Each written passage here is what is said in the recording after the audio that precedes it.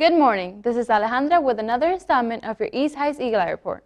On Thursday, April 27, 2017, the students in F104, along with Moises, Richard, and Giacchino, participated in Special Olympics at RIT. The event was organized by a fraternity at RIT. The students participated in running events, baseball throwing, wheelchair races, and long jumping. Several ribbons were won, and the students loved seeing some of their past friends from Edison. Please enjoy the following video montage of this wonderful day.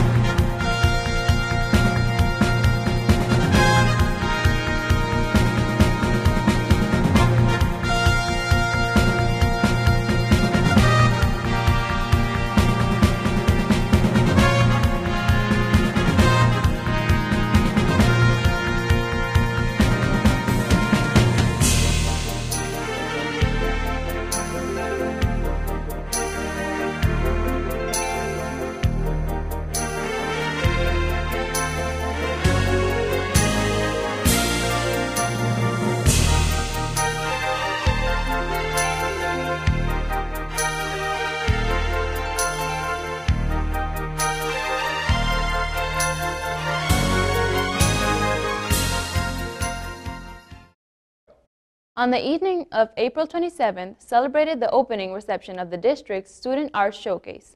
The art exhibit will be dis on display until June 2nd in the district's central office located at 131 West Broad Street during normal business hours, Monday through Friday.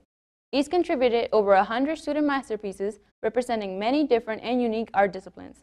Come and support the many talented art students from East High School.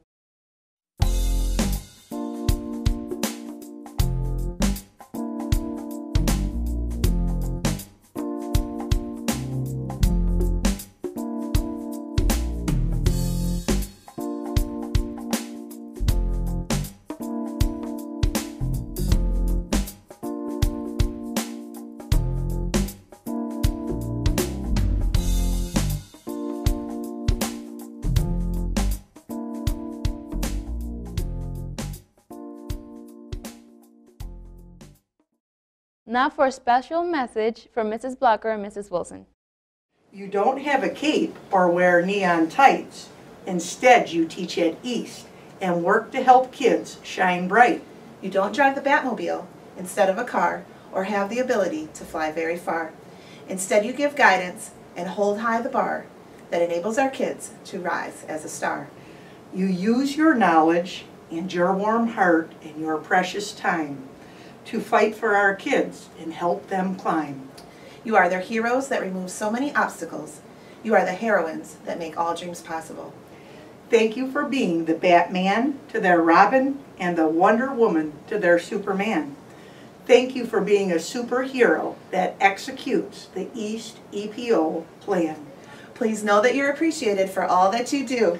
Not, Not only this week, but all the year through. Happy Teacher Appreciation Week. We appreciate you.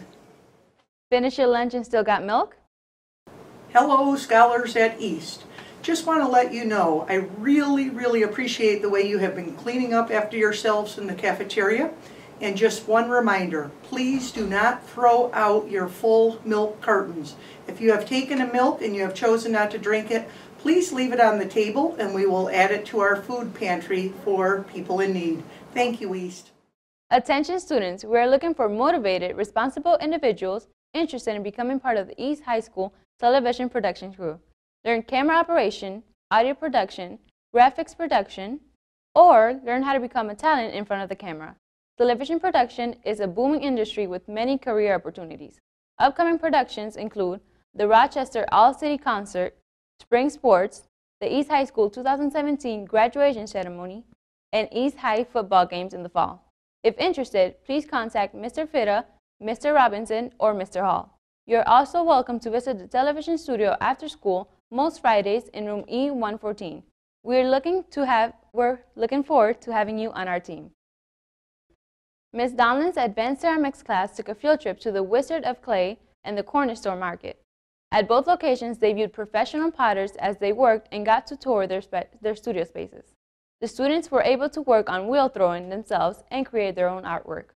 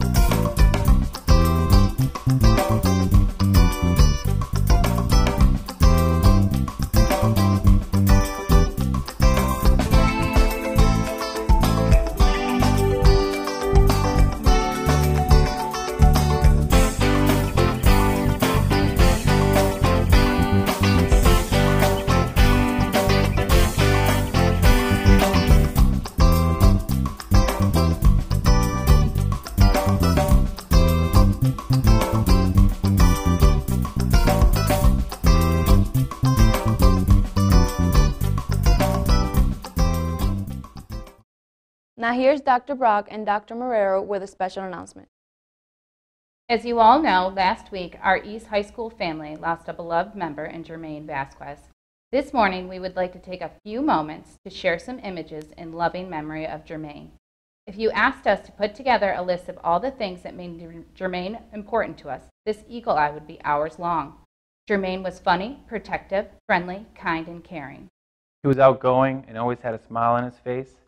Jermaine always pushed people to do their best and had encouraging words for those who needed it. He lifted us up when we were down and celebrated enthusiastically when we did well. And man, did he love McDonald's. East is a better place, and we are better people because he was a part of our lives.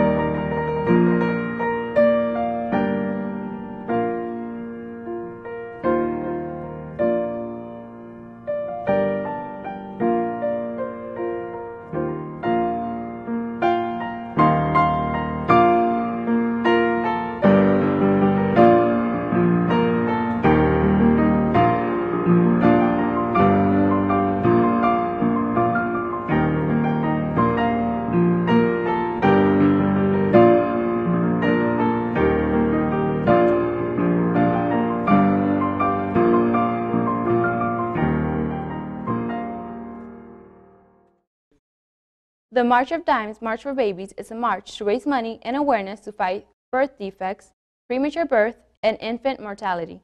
I will be collecting donations. Even a dollar will help. If you want to help fundraise, please visit marchofbabies.org. Now here's Keyshawn with more announcements. The F203 family group challenged the rest of, F, of the F200 family groups to a peep eating contest on the last day before spring break. Seven plucky people participated, pounding as many peeps as possible in three minutes. Oh, and they were sour watermelon flavored. Let's watch.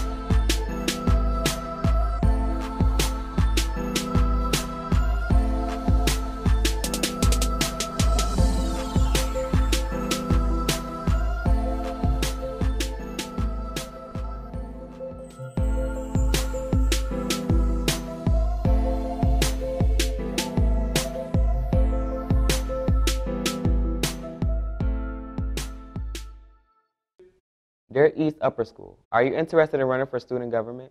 Elections for serving in student government next year are right around the corner. Stop by Mr. Delahanty's classroom in E118 or Mr. Taylor's office in B114 to learn more.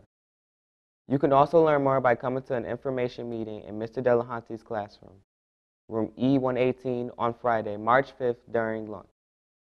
There are positions for the president, vice president, secretary, and treasurer. Don't wait. Learn how to run for the student government today. Stop by E118 or B114 to learn more. The college application process is scary and it comes at you fast. Upward Bound will keep you on track and we are accepting applications until Friday. Don't miss out on personalized college advice, invitations hey, to special Can events. Can I hand in my friend's application? Sure. Um, we're taking it until Friday, but I'll take it now.